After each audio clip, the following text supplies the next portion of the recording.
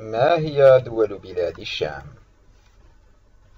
تمتد بلاد الشام على طول الساحل الشرقي للبحر الأبيض المتوسط وتتوسط ثلاث قارات هي آسيا وإفريقيا وأوروبا.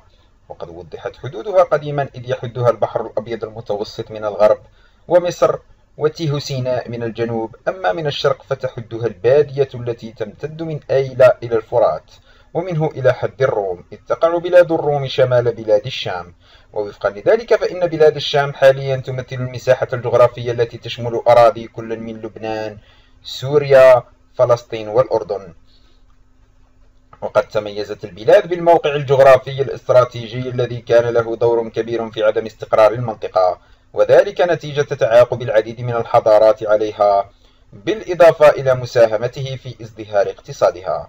نظرا لارتباطها بطرق مواصلات مع مختلف الدول المجاورة.